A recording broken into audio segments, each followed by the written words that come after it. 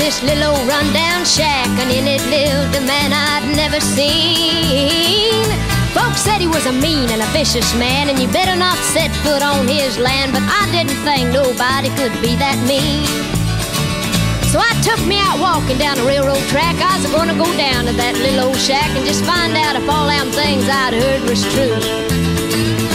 Was a big black dog laying out in the yard and it growled at me and I swallowed hard and I heard somebody say, Well, who are you? Oh, and there he stood in the door of that shack and his beard and his hair was long and black and he was the biggest man I'd ever seen. When he spoke, his voice was low and deep, but he just didn't frighten me, cause somehow I just knew he wasn't mean.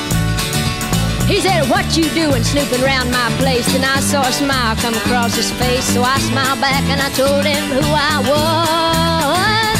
He said, Come on in and pull you up a chair. You might as well since you're already here. And he said, You can call me Joshua. Joshua, Joshua, what you doing living here all alone? Joshua, Joshua, ain't you got nobody to call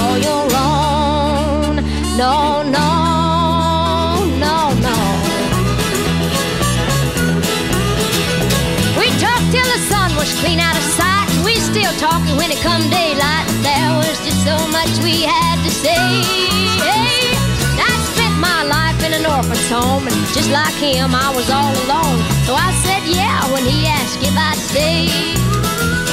Oh, we grew closer as time went on, and that little old shack, it was a happy home, and we just couldn't help but fall in love.